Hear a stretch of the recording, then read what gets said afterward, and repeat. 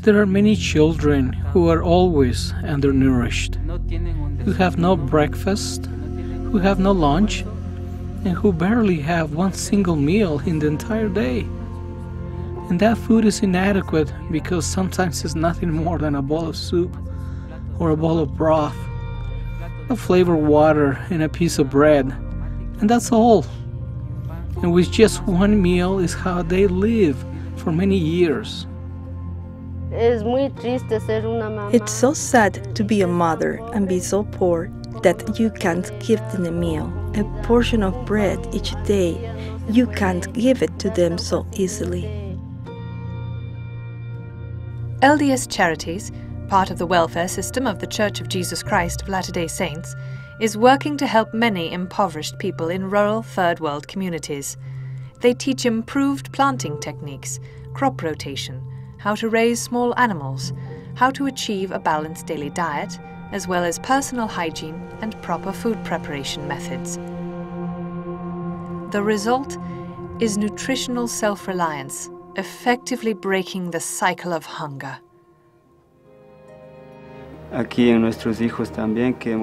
Here among our children, we have also been able to see that they previously were lacking in certain vitamins.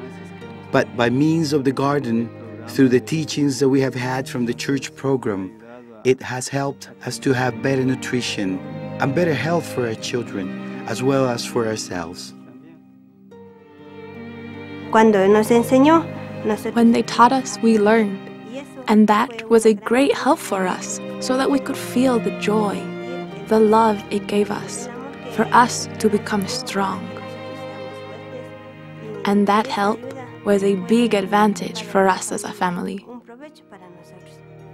And we are very thankful because they have taught us a lot so that we can be healthier and have a better life here.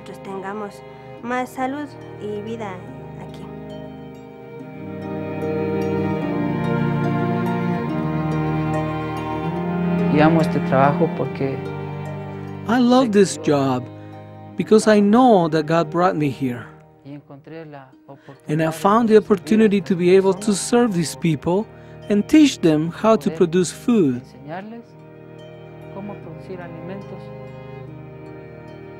And now, when we run into these families, when they have now finished the process, we give a hearty greeting. We have become friends. And I have the satisfaction that I have been able to help them to lead a better life.